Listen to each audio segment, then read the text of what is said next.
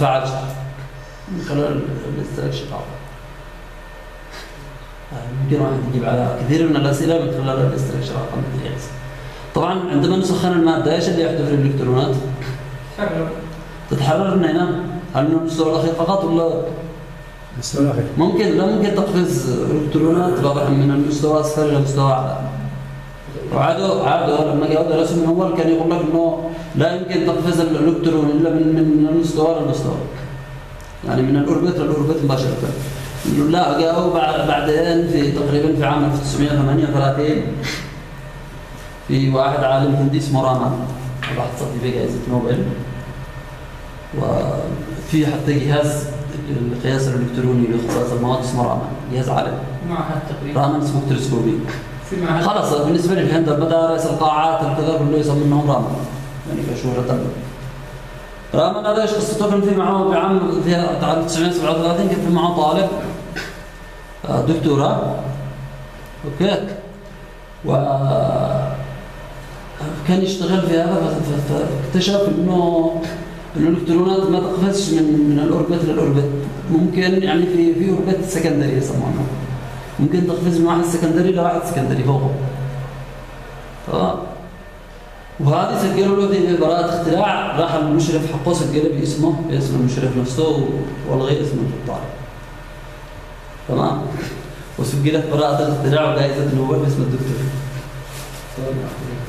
وبعدين كأنه بعد فترة كأنه قدم شكوى الطالب أو زي كذا. بس الهنود بعد يعني مع أقول لكم يعني لقد حصلنا نوبل على إحنا من شارع الدمي فمن بعدها عملوا قرار إنه إلى الآن لا زال فعال ما يحقش لاي دكتور ينشر حق طلاب ولا باسمه اللي باسم الدكتور ممنوع. فتحصل مثلا في في ماليزيا بعض الدكاترة مستغلين في بعض الدول. يخليك تقيس تشتغل ويكون يكتب اسمه الأول وأنت بعده. كل الابحاث لكن في الهند هذا ما ما لقى إنشاء المشكلة ممنوع. الطالب الأول وبعدين الدكتور اذا كان شغلك انت ماجستير ولا شغلك بس هذا هو بس علشان يعني خارجين عن الموضوع شوية تمام هذا اللي هو الأوتر شيل اللي يسمونه البالانس الكترونز For example, because hydrogen atom has only one electron in its single orbit, it readily combines with another hydrogen atoms to form a hydrogen molecules. علشان تصبح H2.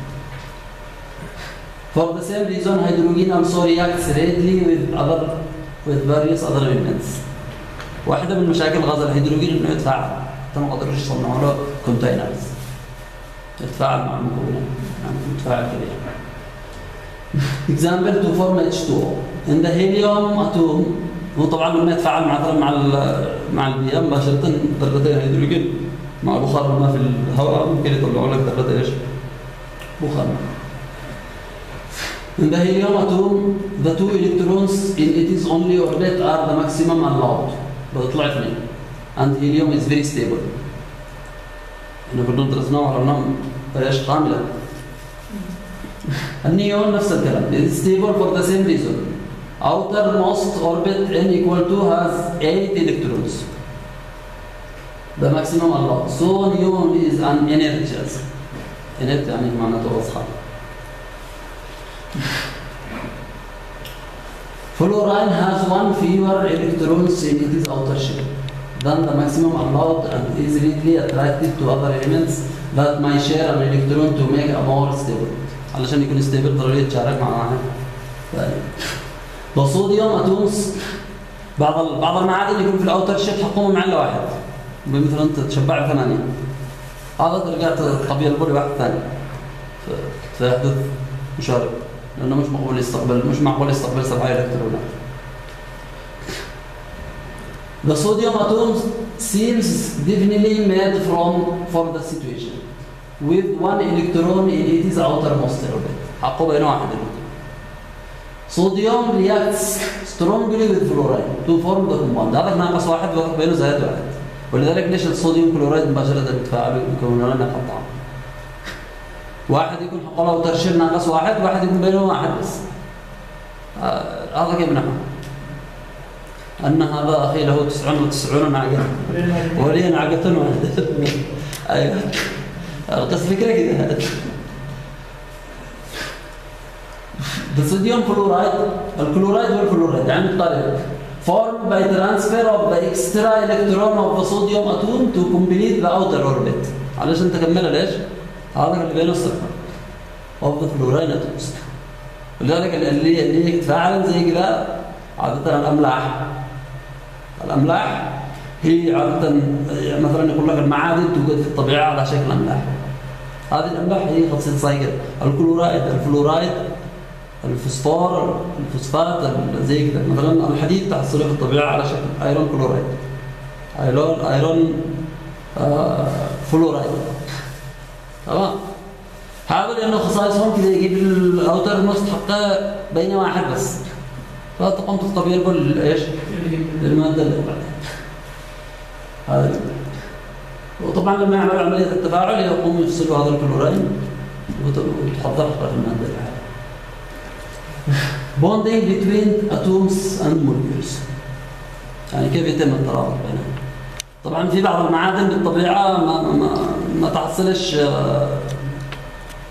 مثلا ال Fe ممكن تحصلها في واحدة لكن السي يو الهيدروجين تطلع H2 ما تطلع ال H ليش؟ علشان يجتمع حق ال structure لأنه الهيدروجين بينه واحدة بس. فيجتمعان الاثنتين علشان إيش؟ يعني تخيل واحد راح هيدروجين بين واحد وواحدة بين واحد. هذه يتملى ال outer هذا وهي يتملى ال outer مترابطين بالقلب مع الدفاع Atoms are held together in molecules by various types of bonds that depends on the valence electrons. تعتمد على ال electrons حق ال outer shell الاخير. By comparison, molecules are attracted to each other by weaker bonds.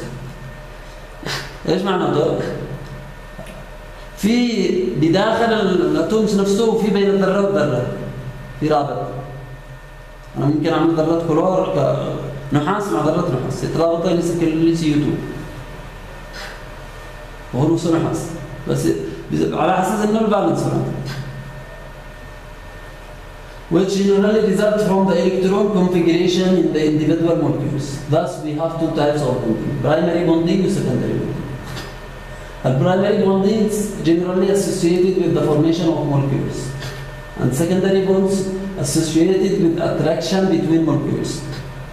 بالمعنى الصح ما وصل لما يكون الذرات مرتبات داخل ال structure حق المادة مش هالمتلاصقة بس هناك في قوة يسمونها electromagnetic يمثلوها عادة بال simulation كأنه بو زنبرك بين الذرات والذرات بس هو في الحقيقة هو ما فيش في قوة electromagnetic بنشوفها بعد الفيديو بعد الصلاة عادة يمثلوا ذرة ويعملوا بينها عمود كذا للذرة الثانية على أساس إنه بينها القوة بس هو في الحقيقة ما فيش بين ما فيش أي رابط يعني فيزيائي physical.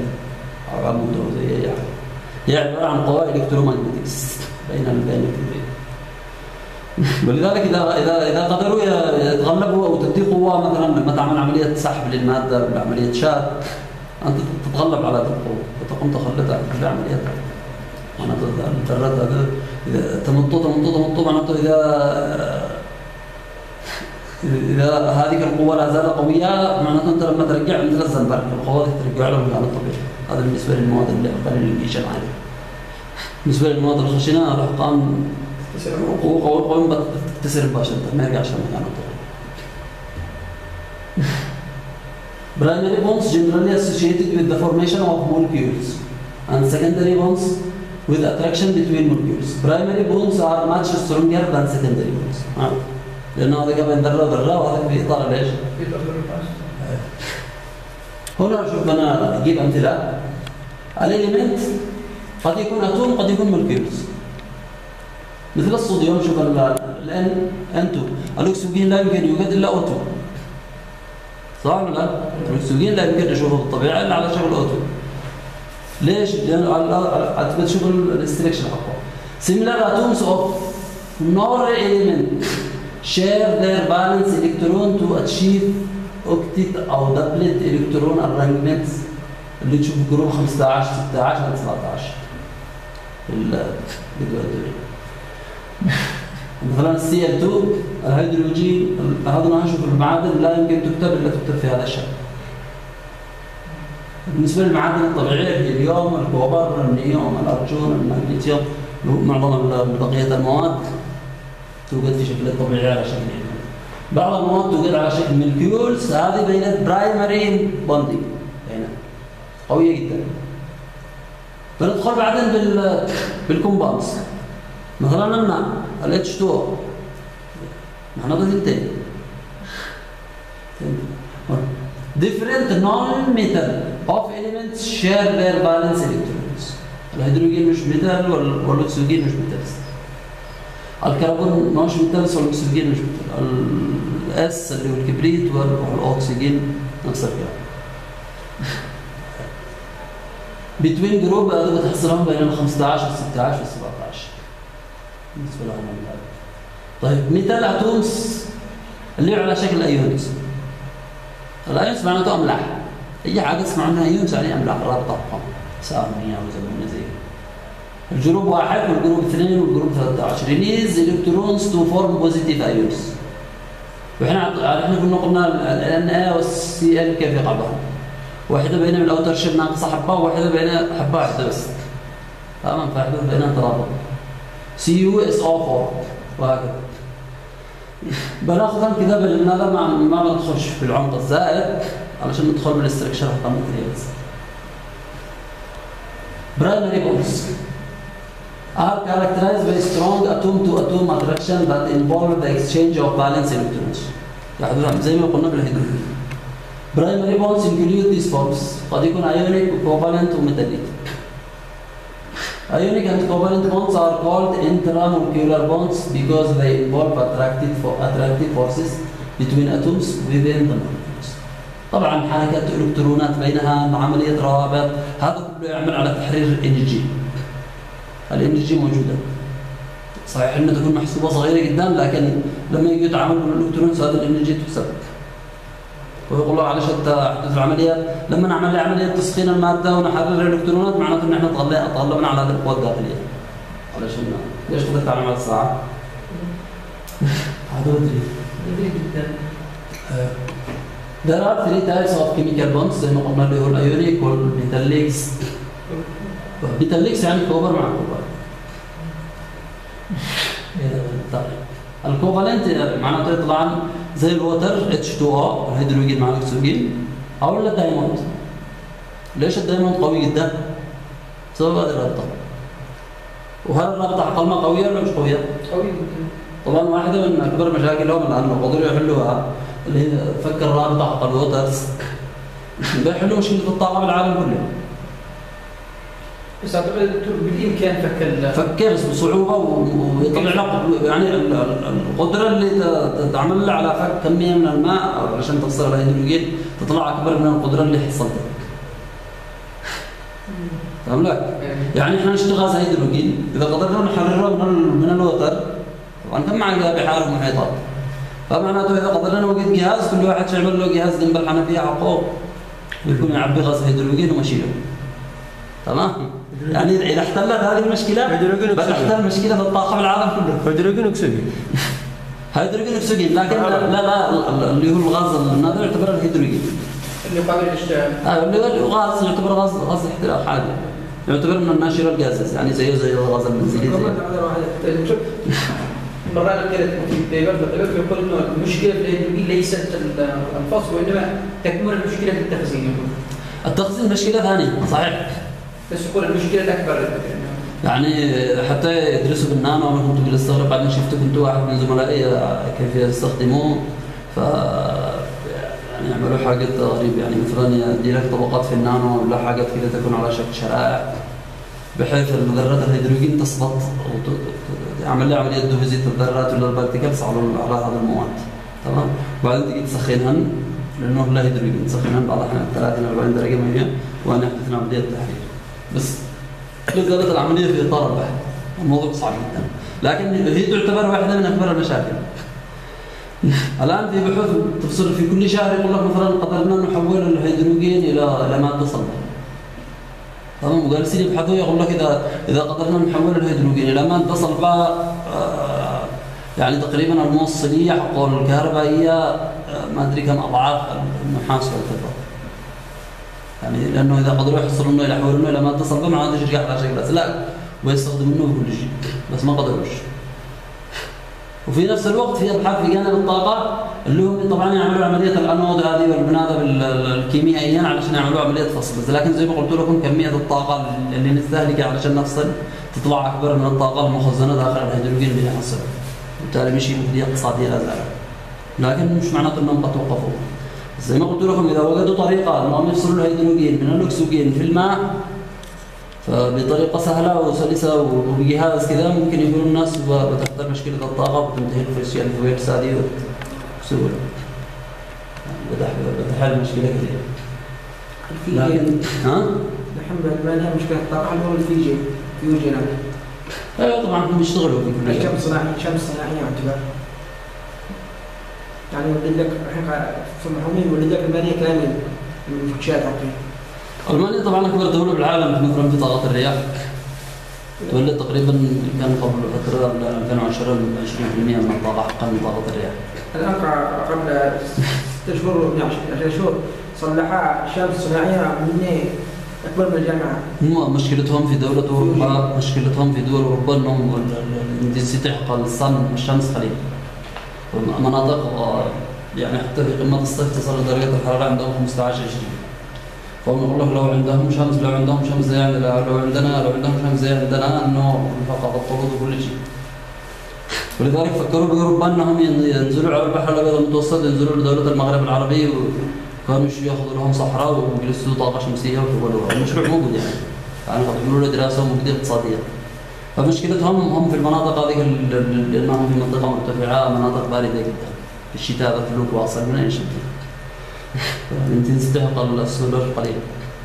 هذه أكبر مشكلة يعاقبوها